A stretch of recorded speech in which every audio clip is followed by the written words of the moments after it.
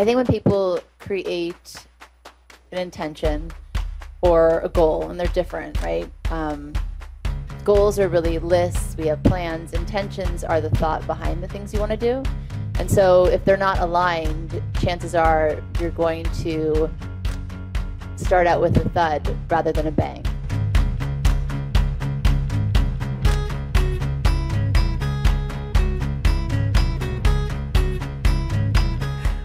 Spiritually Hungry launched in 2020, and today we are proud to say we have over 200,000 monthly listeners for the podcast. So, if there's one thing that we constantly learn from Monica and Michael, it's to be curious, to ask questions in life. We're going to have a powerful Q&A. If everybody wants to start thinking about what profound questions, what areas of help, they, where they may need some support or direction for the year to come, take a few moments to do so. Before, but before we begin, we just wanted to share some of our greatest moments in this very, very successful podcast, and thank you all for your support.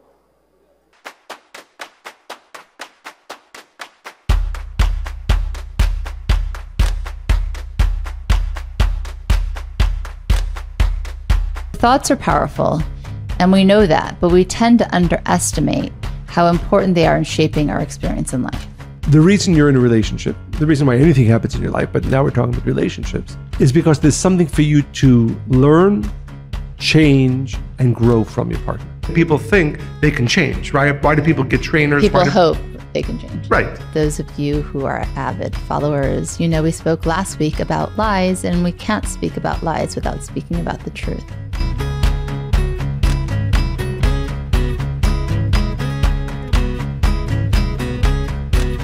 Ask questions when you don't understand, and ask questions even when you think you do understand. These aren't necessarily comfortable questions, but if you want a relation to it, it can be. You have to be honest about these questions.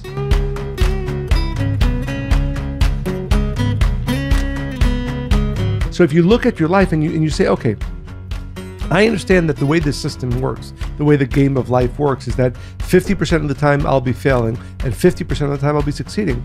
Then failure is not something that happened that you're disappointed about or you're upset about or you wish didn't happen. You realize, no, this is actually an intrinsic, built in part of the system. You know, like that game Candyland, where you go up and then there's like a, a, a ladder that drops you down another level and then maybe you go up again you go down too so I think that that is how life is. And if we think that every time we go lower on the ladder, we give up or we just think that that's who we are now, then we're missing the whole point.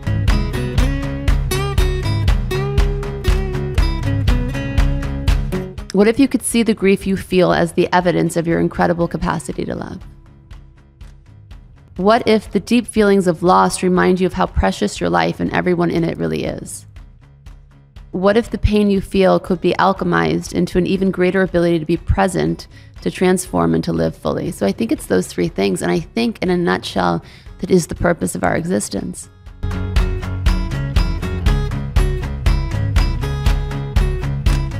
What are the signs that you are truly in love? So it's a tricky question, I think, because it depends on how you define love, um, your expectations of love if you know how to give and receive love. It's so complicated. Maybe I proceeded with a different question, which is how do you know that you are being loved?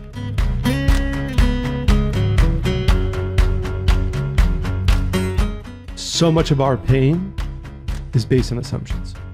And then if we were able to really live a life that questions more and is more curious rather than assuming, the benefit of that would be not just that we'd be wiser and know more, but more importantly, we'd have less pain and more joy.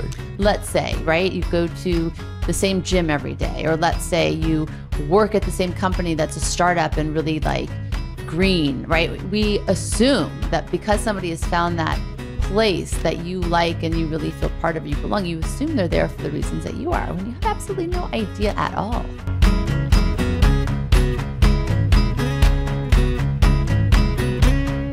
If in any way we can help either both accept or in any way uh, um, help a person go through the painful challenges of life, it makes us in our work very fulfilling. So we're going to invite people to come up on stage and ask a question. If people want to start to line up here in the center aisle, we'll go through as many questions as we can. I'm going to get us kicked off with the first question. So spinning off of life audit, right? We all just did 30 days of Virgo and 30 days of work and setting goals for the year. You must coach many, many people through goals and hear people that set goals and see them fall off the bandwagon all of the time. So, what's your best advice to somebody who set a goal and is starting to struggle to find a way to manifest it or keep on it? What do you see? What, where do people fail, and how can they change that around quickly? I think when people create an intention or a goal, and they're different, right? Um, goals are really lists, we have plans. Intentions are the thought behind the things you want to do. And so, if they're not aligned, chances are you're going to start out with a thud rather than a bang. So first I think is to really check why you want what you want and make sure it's aligned with your true essence and coming from the right place. The second thing is I think often we decide, okay, now I have the energy or now I have the momentum. I'm really going to change this now. And we jump all in and we think that it has to be like we have to move mountains immediately. We have to be from this extreme to the other extreme or we failed. So I think it's to manage our expectations and be realistic. Start small, take small step after small step, and eventually that will lead to great change. So I think it's those two things check your intentions and manage how you begin, really. What I would say is uh, the, the thought that came to mind is that assuming the goals that we're setting and the um, way we want to go is truly important to us, then it has to be something that we're never willing to give up on. So, knowing that in life, anything worthwhile doing will always come with setbacks and with challenges, and some days we're doing it well, and some days we're doing it not well at all. I think sometimes what happens is that our desire isn't strong enough to begin with, or we don't have enough clarity actually on what we need to be pushing towards. And therefore, when certain roadblocks come, they, they can veer us off the way. There's an important, interesting Kabbalistic teaching, and that is, and I think the, this maybe is the a key for Rosh Hashanah, but, but really throughout life, that a person always receives what they desire in their truest and deepest place. The Kabbalist asks the question why is it so often people pray for things, people ask for things, and it doesn't manifest in their life? And they explain that that's because their soul, they don't truly, truly, truly desire it. Monica mentioned earlier today, I think it was Monica, that, that you have to desire it in the deepest place of your soul. You think it was Monica? I think it was Monica. Was it you? it was me. Yes, it was Monica. And and I think really it's not, you know, we're on Rosh Hashanah, but as we said, this is true in life always. That the reason we don't accomplish certain things or the reason we don't receive certain things is because it's an also desire. It's not a deep and strong desire. And therefore, I would begin at ascertaining the desire itself. One thing that the Kabbalists guarantee if you have a true desire, if it's something that you completely and passionately desire, you'll receive it. All those other things that we decide that I think I might want to do this or I think I might want to do that, they almost never manifest, manifest because they never coming from the truest most complete desire that we have. And therefore, and I can say in my own life, I found this that the things that are truly fundamental to my being and a desire that flows from that, the path is never straight, but almost always you're able to manifest it. And therefore, what I would say to all of us who are hopefully making both commitments and plans with this great light that we're all receiving on Rosh Hashanah is make sure that you really uncover your truest desires. Because if something is truly at your core, your desire, you will absolutely and completely accomplish it. Again, not in a straight line, but with perseverance and true desire, you will be able to manifest it with, without any doubt. And it's very similar to the story last night, Julian Kopsecki, when her father said, if you have a resolve to succeed, you'll eventually get there. And I think that that's really something we should all internalize and say, okay, how much are we certain, no matter what, we're not going to deviate from the desire that we have? And another thing I often say is anything worth doing is worth doing messy. Not well, but messy. You will fail. You will fail again and again and again and again. And it's through that failure that's really the making of you. It's through that failure that you really learn and you know what you're made of. And really part of that whole, all of the resolutions we make and the things that we decide we want to become, it's that process of really knowing who you are, knowing what you're made of, failing, falling. And it's how you get up again that you say, wow, I know who I am. And because I have that strength and I still have that desire, you then go on to continue with your intention. I'm Dan Wheeler. I'm from Maryland, uh, Silver Spring, Maryland. and I listen to you guys' podcast all the time and the weekly energy boost too. So, um, so my question, I had two questions. Well, I had like eight questions, but then I condensed it to two questions. And then he was like, "We got to pick one or the other." So I'm going to make it like an A and a B. So it's really one question. Sure. Okay. Semicolon, comma, dash. I'm trying to like space. Yeah, yeah, yeah. Parentheses. So, um, the, so the two topics, right? I'd be like a perfect human if I wasn't so angry and addicted, right? So I have those two things that like screw everything up. And then I'm like, oh no, like I got a new soul, and then like 30 seconds later, I'm like pissed off, like. So I don't have it anymore. I'm like, it's gone. So I gotta wait till next year. so I'm trying, Mike, uh, Michael. So I call you Mike in my head. That's oh, really? okay. Because I have my conversations with him, like Mike. Okay.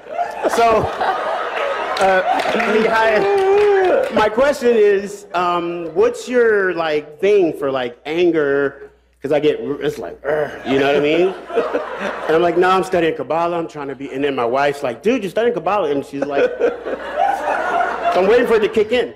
And then addictions. My, I'm waiting. So, uh, comma and addictions. Um, specifically, well, uh, weed, right? Okay. Is it okay to say that? It's, it's okay. Oh, yeah. Because Nothing harder than that, like just like the regular weed, you know what I mean? Um, nothing harder than that. Uh, most of the time, nothing hard. No, I'm joking. Okay, so those are the two. That was A and B. One question. wait, wait, wait, no, no. I want to hear more about the addiction. So how does that? I want to hear more about what, the anger. I, am I'm just, you know what? We can stay up I, I mean, I'm, I, I guess if I'm, I'm addicted to getting angry, can I, I can put that together. And then you um, need the weed. And there I just like go. being high, man. I just, yeah. I like it. It's, so I'm like, should, I, am not supposed to do because it's just like a shortcut, right? And the short circuits. but then I'm just like, you know, I scan so hard, but then I'm like, so I'm trying to figure out, like, yeah, but then I'm like, well, they just want to get high. So, so am I not supposed to do it? And I'm like, yo, I need to talk to Michael about it because I'm like, should I, am I not supposed to do this? So, and Monica too. I need to talk to Monica too. Uh, Mike is going to take this one. Oh, Mike. Oh, yeah. Okay. cool. Okay. Thank, so first of all, thank you, Dan. I was very entertained by your question. Very, very. I think all of us were. Thank you. Yes, yes. So, well, Dan. By the way, what sign are you? Wait, let's guess. Oh. Capricorn. Oh, really? Interesting. Yes, I wouldn't have guessed that. Yeah, interesting. Yeah, yeah, yeah. so, so. If we run out of people, you can get in line again. Yes. Ask another question. so, um, that, that it's a lot. Um, I'll I'll just I'll talk about anger first. I think. I really want to hear about the weed, though. from me or from Dan? Oh, from me. So, um, what I would say, you know, every once in a while you um, you meet certain people with different uh, tikkuns, as we call them, right? That um, that we don't have, right? So, for instance, just using an example, for me, anger isn't a very prevalent one. But the reality is, each every one of us has something. For Dan, it might be anger. For, for me, it's something else. For every one of us, it's something else. And it's really kind of related to the first question. The question is, how much do you desire? It's that simple. It's really that simple. And it's not just desire, I want more blessings in my life, because somebody might say, no, I'm okay, I'm, I'm fine, especially if he's, he or she is, you know, taking weed. They might be settling for less. But but that's not why we're here. We're not here only to have more and more blessings, which is, of course, part of it. It's also that each one of us has a tremendous amount of light, as we mentioned today, that our soul needs, that the world has been waiting for billions of years for me to reveal my soul. And I'm going to take a little bit of, uh, uh of a diversion here, because this is something that I was thinking about during the night connection. You know, on the first day of Rosh Hashanah, people are very excited. It's easier, usually, to be investing effort. And then on the second night, and as in anything in life, the second, the third, the fourth, you know, it's, it's not always as easy to be as enthusiastic about it as invested. But I mention this a lot, and it should be mentioned and remembered a lot. Rav Brandwein, the Rav, my father's teacher, taught in something that is fundamental in every area, area of life the greatest light, the greatest light is always going to be in those places that are either more difficult, that are where most people give less importance. In the connection that we made before, there's a verse, Mevakshei Panecha. Those who are living with a constant desire to be connected to the light of the Creator and to manifest their soul's purpose. And I often don't know, it's interesting, you know, I always think about it, you know, when, when we're giving lectures on Kabbalah.com, when we're in front of a group, a large group of students, you know, where's everybody at in their spiritual desire, I would call it. And I always, at least aspire, desire that our students, that those who are awakened to the wisdom of Kabbalah, to the path of the center, see themselves as not just as another person who wants some spirituality and wants you know a little bit more in their lives and i'm sure there are students like that. But the real people that i get excited about the real students that i get excited about is when you sense that there is this real thirst this real desire not just for more blessings and more light and so on but to reveal the purpose of their soul in this world. And if you really understand that and accept that, then assuming that your tikkun part of it is anger, or and mine is something else, and yours is something else, there's no two ways about it. I can be a spiritual person and get angry. I can be on a spiritual path and get angry. I cannot be with great desire, the greatest desire to reveal the light of my soul in this world if I accept anger as a consistent and ever present part of my life and not overcoming it. Now, again, it doesn't mean it's easy. Your tikkun and our, my tikkun, everybody's tikkun is going to be that part that is the most challenging. But for me, again, it's, it's, a, it's a binary decision. There's no way that any one of us accomplishes the purpose of our soul without a tremendous investment of work. I gave a limud about this some time ago that Rav Ashlag says the singular differentiator between those of us who will actually accomplish the purpose for which our soul came into this world and those who will not is one word, one ancient Hebrew word, yegi'ah. How much difficult and challenging work do we invest in our transformation? In our tikkun. So this isn't a um, sort of a, an easy answer, But, but I hope that not just for you, Dan, for all of us, it's an awakening on this Rosh Hashanah to say, I am though of those who desire everything. I am of those who desire to completely, completely reveal my light that the world, that humanity has been waiting for. And I know that I have to find those things that are most difficult, most, most difficult, and attack them, and fail and attack them again, and fail and attack them again. Because I will not settle, as the Rav told us last night, the Kabbalists don't settle. I think one of the biggest mistakes people who are in some way on a spiritual path is that there are the things that they want to work on, and there's this one thing or these two things that I don't even want to look at, or, or it's too difficult, or I, I've tried and I failed. Kabbalists teach that the negative side will allow us to be such a beautiful person, spiritual person in all these other areas. Just the one thing we actually came to this world to do, it won't let us attack, it won't let us transform. So, for all of us, and Dan, thank you for, for the question, but for all of us, I think it's an important awakening on this Rosh Hashanah to say, first, I want to be of the few that actually accomplish completely what my soul came into this world to accomplish. And I really, really awaken that desire.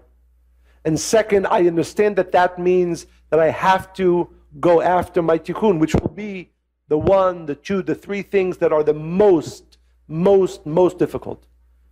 And third, that I will invest tremendous effort, effort after failure, effort after failure, effort after failure, so that I can actually accomplish the purpose for which my soul came into this world. So that's super, super deep. Yes. Let's bring it, let's, I think there's two things that are really motivators for change. One is fear, and the other one is understanding what's behind our actions. So I'll ask you a follow up question. What does the Zohar say about anger? Oh, well, it's pretty scary stuff. That's right. the, the Zohar says, again, let, us so let's go a little bit deep, more deeply into anger. Why do we get angry? Why do we get angry? Because something is happening that I know think, desire shouldn't be happening.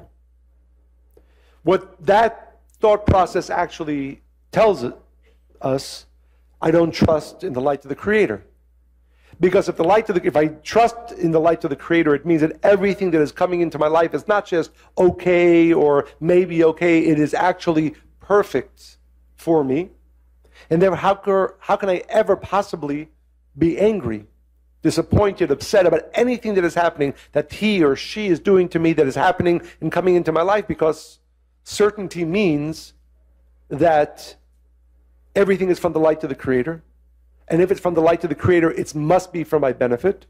And therefore, not only can I not be upset, should I ever, never be upset, but I should be so excited and appreciative for every good or, to my mind, things that I wouldn't want that enter into my life. That's real certainty. So the Kabbalists teach, the Baal Shem Tov says that anger is one of the greatest manifestations of the ego, one of the greatest manifestations of lack of certainty. And you can't, one cannot be connected to the light of the Creator with that level of ego. So all of that is just to say, again, as a motivation. And even, I don't know if you've been in homes or places where there's been anger or violence or any manifestation of anger, but you actually feel it in the room, but also on the walls. And the Zohar says that the walls actually hold on to that energy and create entities that then go with you through your day. So being angry here and there, you add that up throughout the year, and your reality is going to feel and look very differently. And um, and I've experienced that firsthand many times. Um, small side story. We once stayed in a home, uh, friend's house. We were in uh, in a different part of the world. I'm not going to give too many details, but um, they were out of town and we stayed, and they were fighting a lot. Really, not a successful couple. We stayed in their their house and in their room, and we fought like I mean, like we've never fought over nothing. I don't even know what we're fighting about, but we were fighting like hard. And by the third day, I'm like, we're leaving now. We're getting out of here. I don't care where we're staying. We're going to a hotel. We've got to get out of here because this is not even us. We're not even fighting about, like, this is not real. We left and then nothing. We felt nothing. We were fine. It was not even our energy, right? So that's one thing on anger. Um, but I, I think another thing is that often we take our reactions very seriously. We take our emotions very seriously, whether it's sadness, anger, anxiety, fear, whatever it may be. And we think now I'm an angry person or I'm a sad person, when in reality, emotions are just indicators. So if you have an emotion, let's use anger, right? So it's coming out and it's basically any of those negative emotions, right? First, it's to say, okay, there's something underlying here that I actually need to do for myself, whether it's speak up, whether it's be proactive, whether it's invest more in my connection to the creator and my certainty, or know myself better, have self awareness. That emotion, and especially if it's coming up repeatedly, is there to teach you something that you need to know about yourself. The second thing is when it comes about, it's a re- it's a victim response. Sadness, anger. Anger is I'm there's an injustice and I can't do anything about it and I'm so angry. Sadness is I have no control. Everything's going to happen to me. I'm a victim to life. That's a, of course you should be sad sometimes and you should be angry sometimes. But even with those emotions, we know mothers against drunk driving, right? They use their anger to create powerful change in the world. So emotions are necessary. It's when they have a hold on you. And then I will address the weed part of course you want to smoke weed because you're stressed out and you're angry you know? So if you're less angry you're going to smoke less. And it's not even it's i don't even care if you get high or not in reality. It's how you feel about getting high because you know you're using it because you're angry and it calms you. You deal with the anger you'll get high but you're going to use it when you're happy just to get even higher right? And that's the difference. So i think that really the it's such a great great questions use your whatever it has a hold on you whatever that emotion is that really you don't feel great about understand it's teaching you something it's telling you something and be able to transform that and say okay really what is behind this? What do i feel i have no control over? Which is all an illusion at the end of the day. Hello everyone. My name is diana rivka. I'm originally from panama city panama and, but i live in miami since 20 something years. Um, uh, my question is more about family. Um, about 14 years ago, I got divorced, and um, soon after that, I have three kids, and one by one left the house. Soon after that, my mother died of cancer. I felt the world was coming to an end. Um, I had a angry conversation with God. I didn't share with anybody. And kind of like my soul answered me, but I was like weirded out. It's like, oh. Um, a friend of mine, a Panamanian friend of mine, invited me to go to a book. Um, Karen was in Miami for the book to be continued. And I went because reincarnation was always a, a topic I like. But the, what I want to focus now is all my three kids decided to hate the world after the divorce. They hate everything. Coincidentally enough, each one of them went into a different addiction, you know? And when I try to preach to them or tell them, hey, come to Kabbalah with me, um, they're like, oh yeah, you are just, you know, into religious or you're going crazy or you are becoming Jewish or, you know, or, you know, or, ah, why do you react? Aren't you studying Kabbalah now? And so I want to know how to, you know, my greatest desire is to be able to heal my family, heal my kids, to bring them into, you know, what I say is save my life, you know, because I literally was, you know, giving up. I, I cry out. I was like, you know, God help me. I don't want to eat. I don't want to do anything. And, you know, and I think I didn't find Kabbalah. I think Kabbalah found me. Um, so I want to know how to influence, how to heal, you know, what went wrong. And, or maybe it was all meant to be, how to, how to basically heal my family tree. For healing to occur, you need to have honest conversations, especially when it comes to addiction. Usually people are looking for ways to make themselves feel better, and it's not really addressing the seed of what they're looking for, the seed of the hurt. It's really, how can I just escape the pain? So I don't know the journey that you've had, and it's great you've found what has healed you. Of course, you can speak to them about it or even preach, but first you have to get to the place of their pain and the source of that and meet them at that space. You know, I think often especially I think children of, from that come from a divorced family, they see things a certain way and then suddenly their whole life changes. They didn't ask for the change, maybe they didn't even know the change was about to happen, maybe the parents fought in private and suddenly everything's different and it's not something they expected or wanted. So I think it's okay to give them their time to grieve the life that they thought they would have or the relationship they thought that you would have. And of course, depending on how parents separate, right, if it's a painful divorce or there's animosity, then that affects the children in different ways. So I think it's first being able to allow them to have their pain, their experience of loss, and see how what it is they want, right? Instead of offering what helped you, meet them in their space of pain and lack, and then from that space try to help them. And it will be a series of many conversations and a process but I think that, and of course, as Michael was saying earlier, there's tikkun, right? Everybody has their own journey. But I think instead of trying to fix it right away, just try to hear them. Everybody, every family has, you know, different challenges. And one of, and it's kind of related to the first two questions as well. One of the things I learned from the Rav is that if you're trying to fix something that's important, giving up is never an option. And it could take a year or five years or 20 years or 30 years. But if you're really committed to it and using all the spiritual tools that we can, and especially using other tools, as Monica mentioned, then the third part of that is accepting that they have their own tikkun. Again, how old are they? What are their ages? They are. Uh, 30, 28, and 26. Right. So one of the more difficult things to accept as a parent is the fact that there, our children were never really ours. Hopefully, we do the best that we can to guide them and give them wisdom and direction.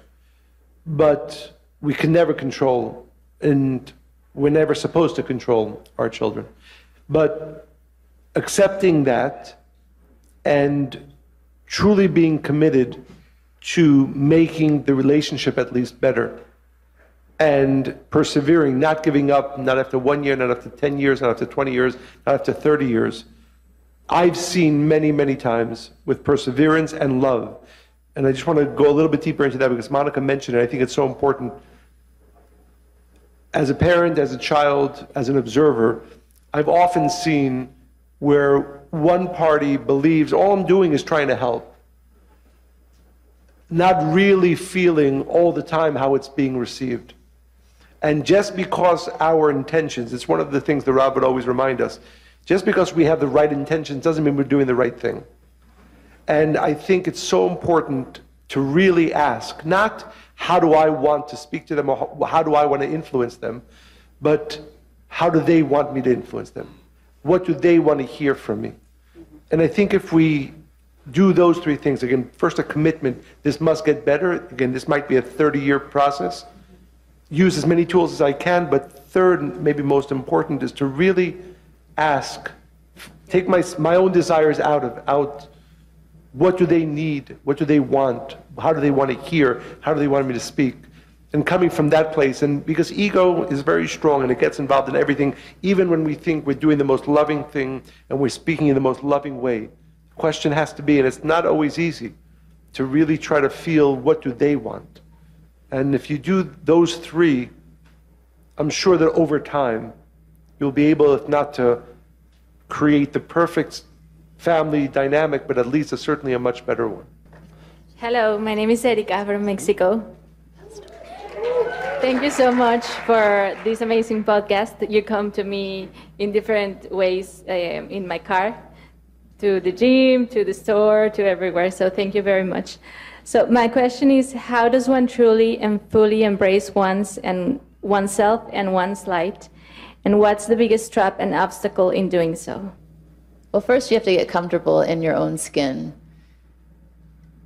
And you have to be able to learn to truly love yourself. I have this conversation with a lot of people often. And they're like, yeah, no, I love myself, but the thoughts in their head are usually unkind, usually punishing. So it's coming from that place of really how do you reveal and how do you really learn to feel so comfortable in your body and in your skin and all of you that you are able to hear your soul's desires, that you take them seriously, that you take action, that you are so curious about who you are and who you could become, that from that place you're able to then go forward and reveal your great light. So we tend to, from the space we are in, which is usually a bit broken for all of us, unless you do continual work every day to really learn to love yourself. And that journey takes a long time. And it's really every day choosing that to drown out the negative voice, the negative thoughts, the ones that when you look in the mirror, you're like, you're not enough, or all that criticism, negative sound, and start to say, okay, I'm really curious about who I can become.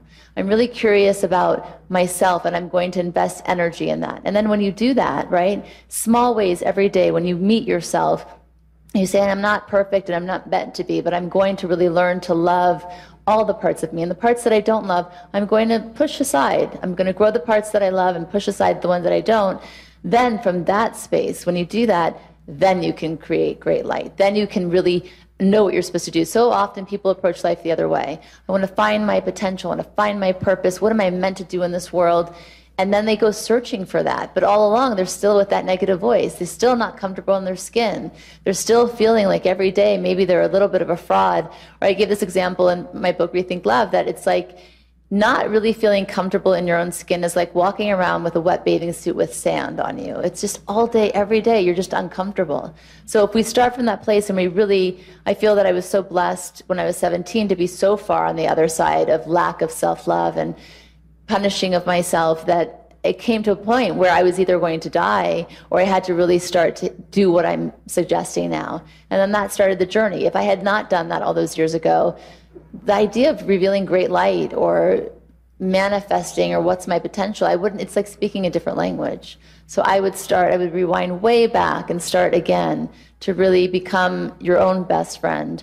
Be so curious about yourself that you want to discover all the unique parts of yourself. Grow the ones that you that work for you, that you like, and the ones that are just false belief systems that aren't really yours, just push away.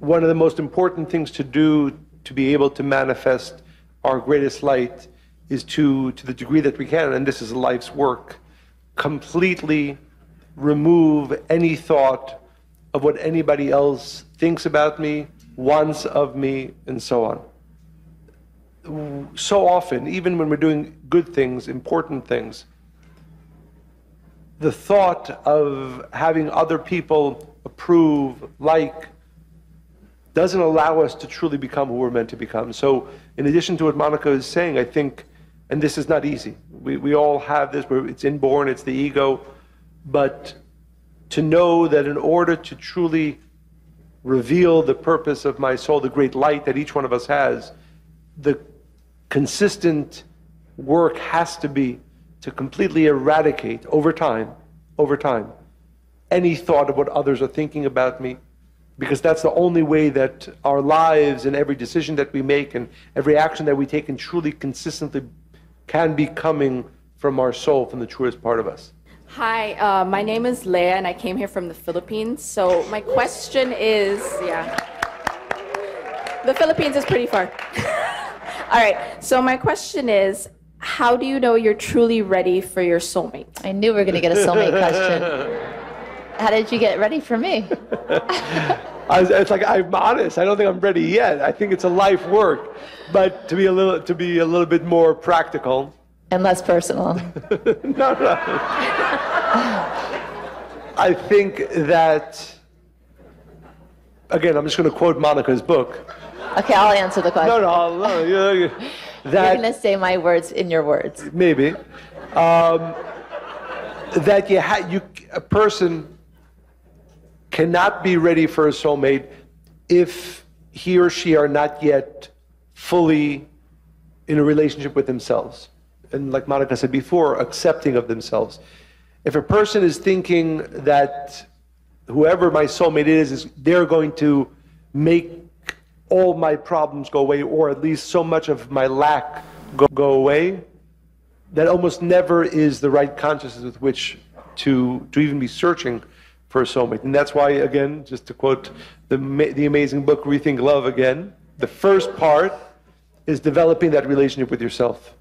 And you will find that when you are, at least again, not perfect, because none of us are perfect, but when you are advancing in truly knowing yourself, accepting yourself, finding fulfillment within yourself, then you are in a place where the light of the Creator will enable you to find your soulmate.